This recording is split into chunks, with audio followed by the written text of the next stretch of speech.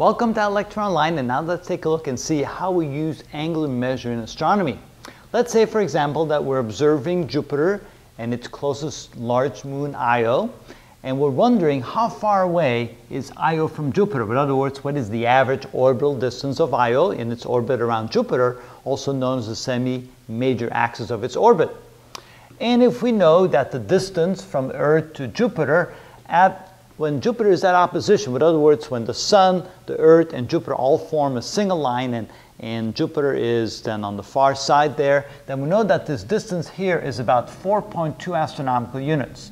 So let's call this distance from Earth to Jupiter, let's call it big D, and let's say that's equal to 4.2 astronomical unit, realizing, of course, that an astronomical unit is about 93 million miles. And then let's say we go ahead and measure the angle if we take a straight line from the Earth to Jupiter and then we take another straight line from the Earth to Io. Right? So the distance from the Earth to Jupiter, let's say that is 4.2 astronomical units. Remember, from Jupiter to the Sun, it's 5.2, but when Jupiter is in opposition in a straight line from the Sun, let's put the Sun over here, Earth and Jupiter, then the distance here would be 4.2 astronomical units.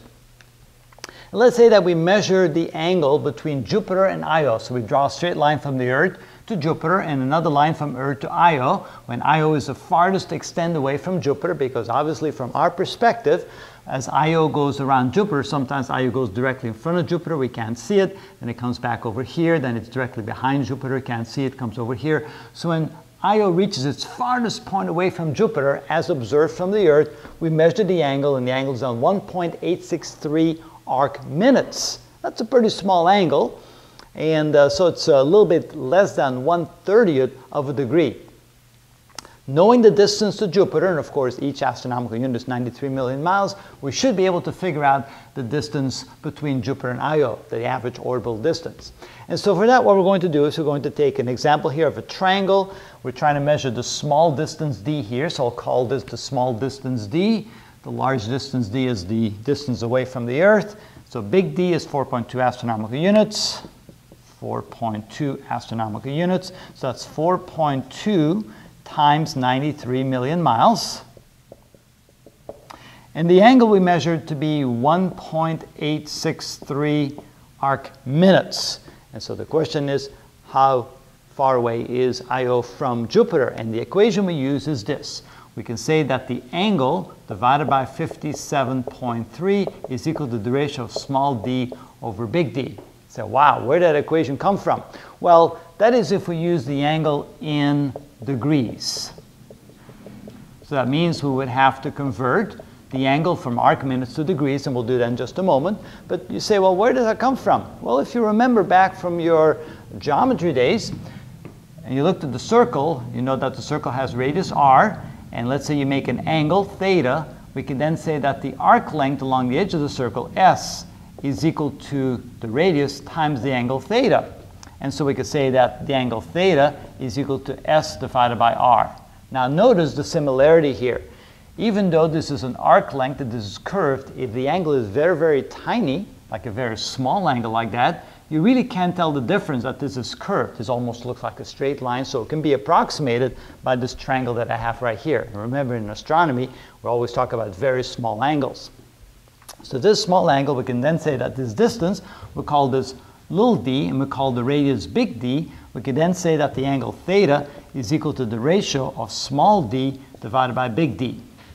Now you say, well, wait a minute, where does the 57.3 come from? Well, it turns out that this is in radians. And there's about 57.3 degrees in radians. So if we want to then cut this down from radius to degrees, we have to divide that by 57.3 to get degrees. And so this now becomes our equation. And if we then want to find out what little d is, we can say little d here is equal to the angle theta times big D divided by 57.3. And now let's go ahead and figure this out for our example here. So we had an angle of 1.863 arc minutes, and we have to divide that by 60 to get degrees. So now we convert it from arc minutes to degrees. There's 60 minutes in a degree. The distance, that would be 4.2 times 93 million miles. And the whole thing divided by 57.3 degrees in a radian. Okay, well, I don't, don't need that unit there because the units will cancel out except for miles. So let's try this. So we have 1.863 divided by 60 times 4.2 times 93 million and divide by 57.3 and I have a distance of 2,000, oh no, not 2,000, 211,660. So the distance is 211,660 miles, and that would be the orbital radius of Io going around Jupiter. And that's pretty tricky, that's pretty slick here. Think about it.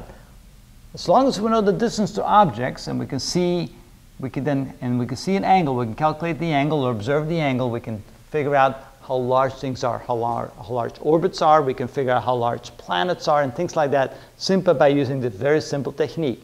So big D is the distance to the object we're looking at.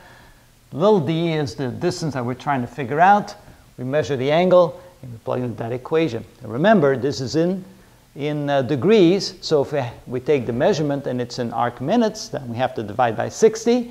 If the measurement is in arc seconds, then we'll have to divide by 3,600 because there's 3,600 arc seconds in one degree, and that's how we find out how big things actually are. So all we need to know is the distance and the angle. Unfortunately, in astronomy, this is usually the hardest thing to figure out. Now, thanks to Kepler, we were able to figure out the distance to planets, but if we talk about an object that we don't know the distance to, of course, we can't use this technique. And we'll find out there's lots of techniques we came up with in astronomy to figure out the distance of things. But if we know the distance, this is the way we find the size of things.